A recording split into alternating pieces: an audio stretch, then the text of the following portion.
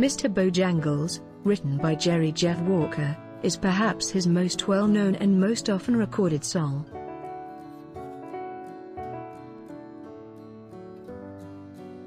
Mr. Bojangles was successfully known and performed by the Nitty Gritty Dirt Band in 1971. The song is not in reference to Bill Robinson, nor is it in reference of Babe Stovall, a New Orleans blues musician.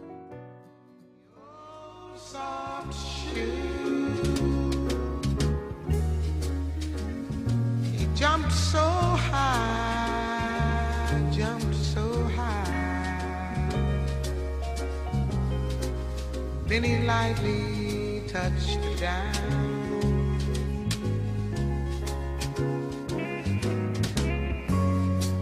I met him in a cell in New Orleans. I was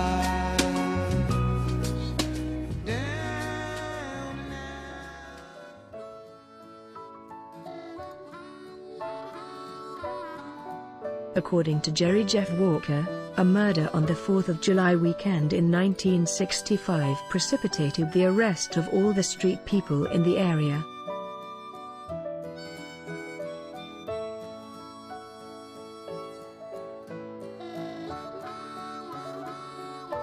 And in a jail cell, a disheveled, homeless man began to talk to Walker. Walker had been arrested earlier for drunkenness.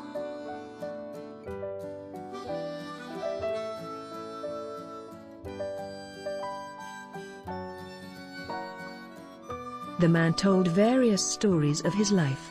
One of his stories was how he taught his dog many tricks.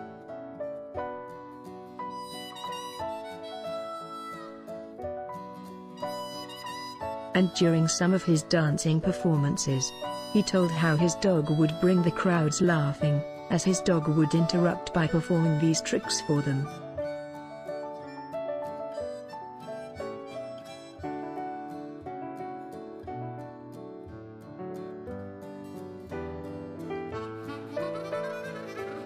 He laughed as he explained how he would be just resting on a bench, when his dog would approach people walking by, and would sit up and beg as they looked upon the dog sadly, and would give Bojangles dollars, for the dog's performance of begging.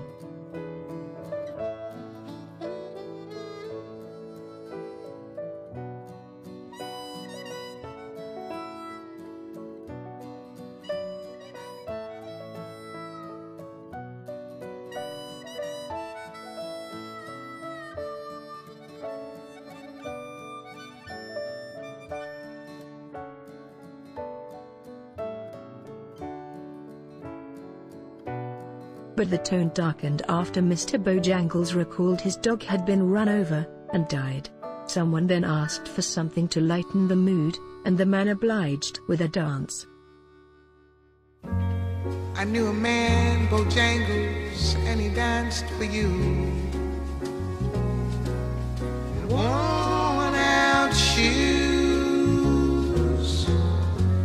with silver hair, a ragged shirt, and baggy pants.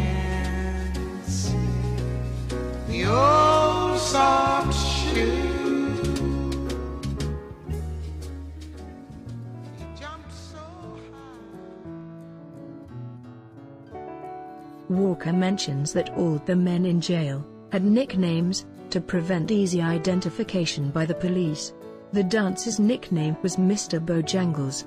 In his autobiography Gypsy Songman, Walker makes it very clear the man he met was white.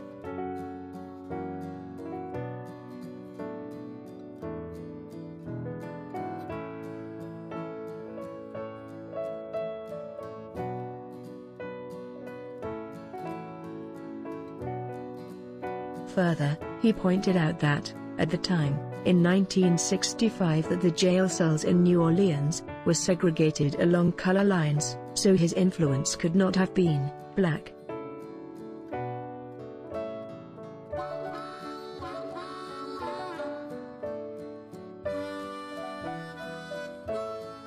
Bojangles is thought to have been a folk character, who entertained informally, around California and in the South, and some say he might have been one of the most gifted natural dancers ever.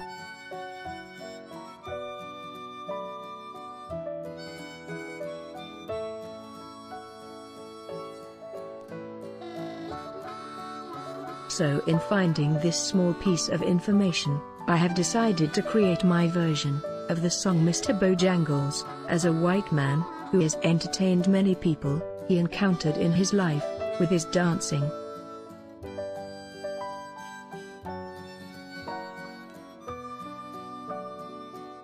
So, as my story goes, Mr. Bojangles was released from jail and continued on his way. He his heels. He let go alive. Let go alive. He stood up and shook back his clothes all around.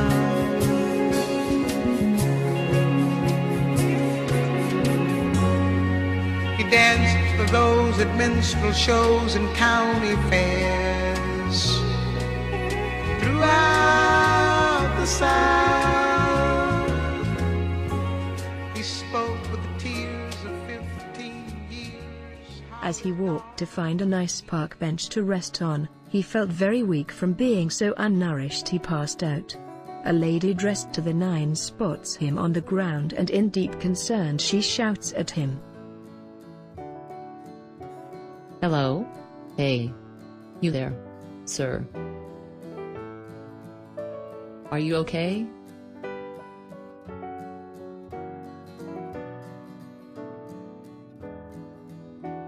May I help you?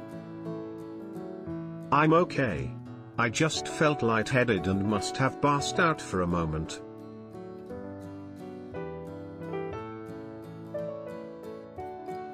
She hands the man several dollars and suggests, Here, sir. Take this money and buy some food.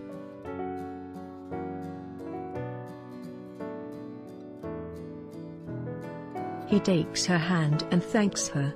He replies, Thank you, dear kind lady. Now, I must be on my way.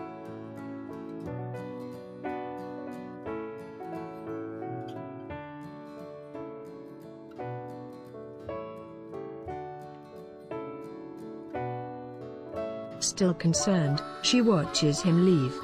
But not really believing the man is okay, she follows him to the subway. Seeing the route he takes she follows. Upon arriving at the stop he departed at, she spots him once again, on the ground.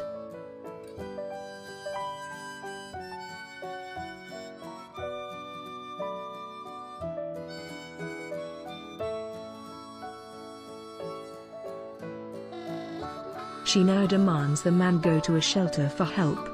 Being a little annoyed at her for following him, he tells her, Look, lady. I'm okay. There's no need to worry about me. Again they part.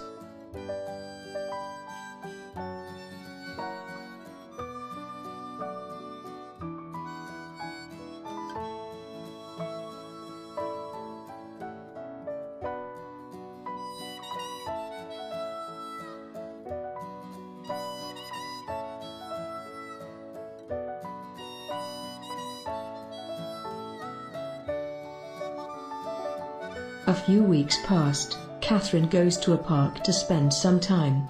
After reading her book she decides to leave.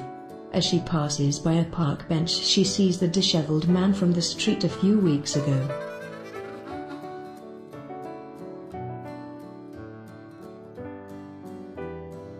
She can't believe her eyes. She walks back to the bench to make sure it's the same man as before.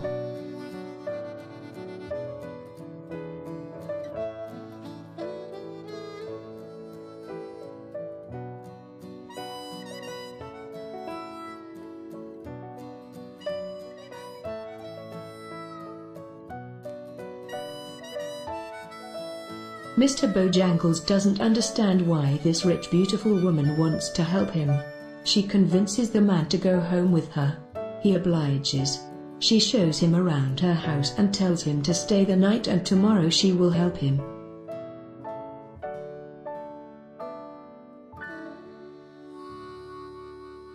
The next morning she walks into the living room finding Mr. Bojangles sleeping on the sofa just like on the park bench. No pillow, no blanket.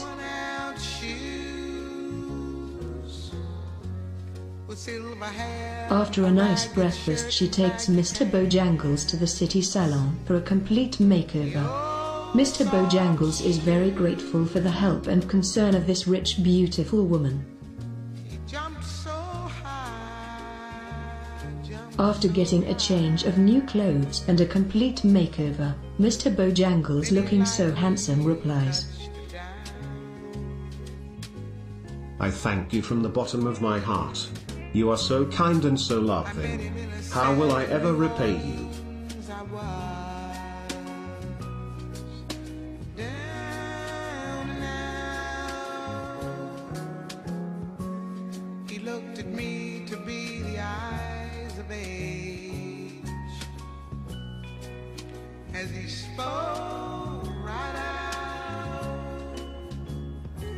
From that moment on, the two of them were inseparable. They married a short time thereafter and continued to be very happy with each other. On occasions they would go out dancing and after all these years he dances for her. Always and forever. Mr. Bojangles.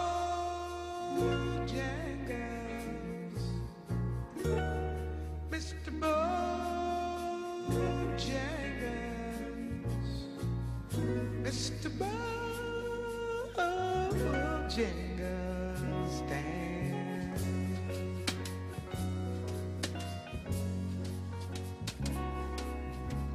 He said his name, Bojangles, then he danced a lick. Across the sand. Life for Mr. Bojangles was more than he had ever imagined. Katherine Wentworth took him on many adventures. Picnics in the parks, bike rides, fishing and hiking in the mountains and traveled many countries, such as China and Egypt, and most memorable France. He stood up and shook back his clothes all around.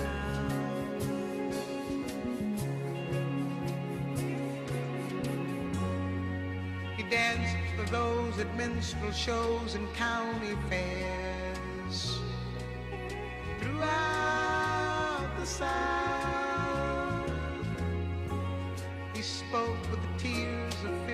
While in France, he proposed marriage to her, and years later they returned for their 60th anniversary.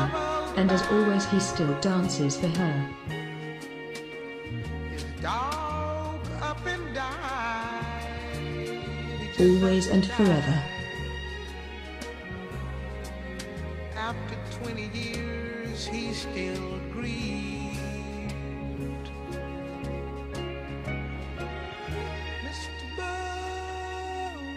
Bojangles, Mr. Bojangles, Mr. Bojangles.